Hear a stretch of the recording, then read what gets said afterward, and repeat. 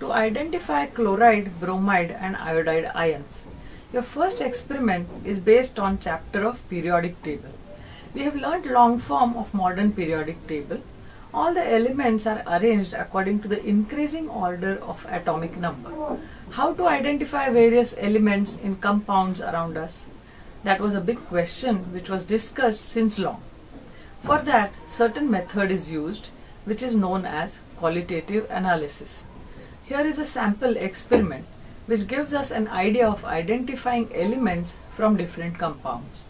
17th group in modern periodic table contains elements like fluorine, chlorine, bromine, iodine and astatine. These are non-metals and they form ionic compounds with the metals. For example, sodium is a metal and chlorine is a non-metal. So sodium and chlorine form ionic bond between them and sodium chloride is produced. In this experiment, we will identify chloride, bromide and iodide ions from the given salts. We need apparatus like test tubes, stand, droppers, etc.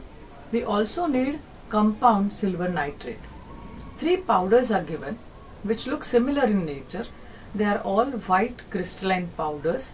They are powders of potassium chloride, potassium bromide and potassium iodide.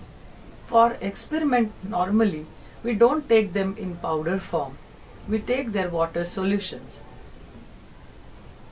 Procedure We keep solutions of potassium chloride, potassium bromide and potassium iodide in three test tubes and label them as A, B and C.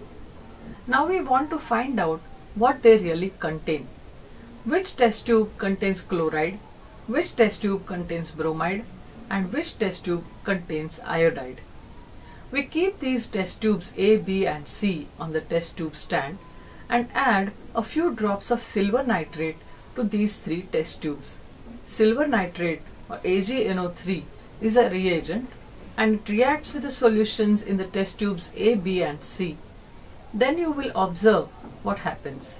We need to be careful while adding silver nitrate. Don't waste silver nitrate, it is a costly reagent. Adding a very few drops is enough for the chemical reaction. Note down the observations in the table. As soon as you add silver nitrate, we find that chemical reaction starts and some product is developed. This product is not a liquid but it is solid. Such solid product that comes out of the solution is known as precipitate and a process is called precipitation. In all three test tubes you will find precipitates. It means that when silver nitrate reacts with these three compounds or solutions, precipitate is formed. This indicates that there is a possibility that there may be halides or compounds of halogen in these three solutions. These halides are giving us precipitates. In test tube A, precipitate formed is white in color.